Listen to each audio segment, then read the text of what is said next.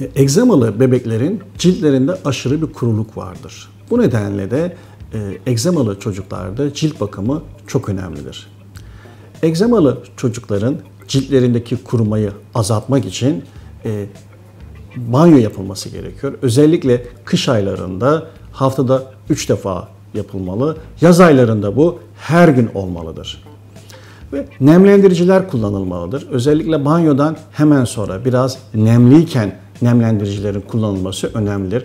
Yaz aylarında sabah akşam nemlendirilmesi kullanılmasında fayda vardır. Kış aylarında her gün kullanılmasında fayda vardır. Çünkü bu nemlendiriciler cildin kuruluğunu azaltmakta ve kaşıntıyı azaltmaktadır. Çünkü kaşıntı cildin kurumasından dolayı olmaktadır.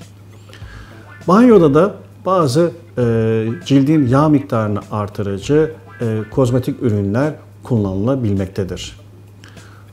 Cilt bakımında bir diğer önemli nokta da egzamalı bölgelerin banyodan hemen sonrasında egzamalı bölgelere bazı tedavi edici merhemler kullanılabilmesidir. Egzamalı çocukların cilt bakımında e, sabun ve şampuanların cildi kurutmayan özellikte olması çok önemlidir. Zaten cildi kuru olan çocukların bu kurutucu sabun ve şampuanların daha fazla kurutmasıyla bariyer fonksiyonu daha da bozulabilmektedir.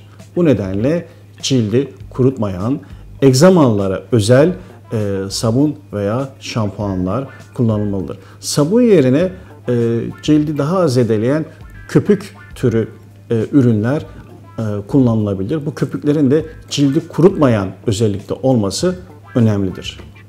Sonuç olarak cilt bakımında sık banyonun yapılması, e, cildi kurutmayan kozmetik ürünlerin kullanılması ve nemlendiricilerin kullanılması çok önemlidir.